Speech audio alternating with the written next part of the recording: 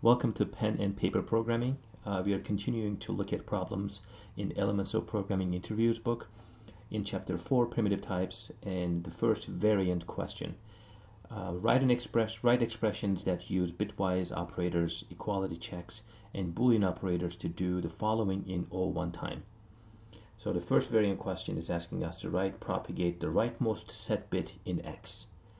We have to do it only using you know, bitwise operators, equality checks, and Boolean operators, and we have to do it in constant time.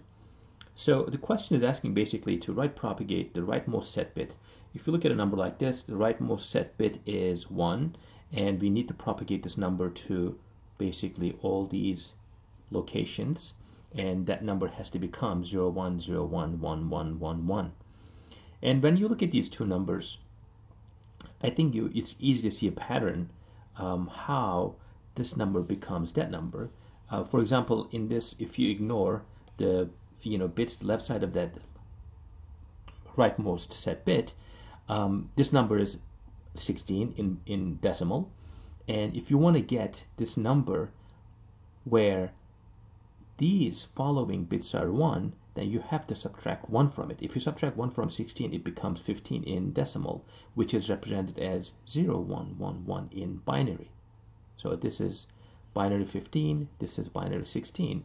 So if you want to get basically um, binary number where all the digits on the right side of the most set bit is 1, you basically subtract 1 from it. Once you subtract 1 from it, that becomes 0, 1, 1, 1, 1. And how do you get all those all these digits to be 1.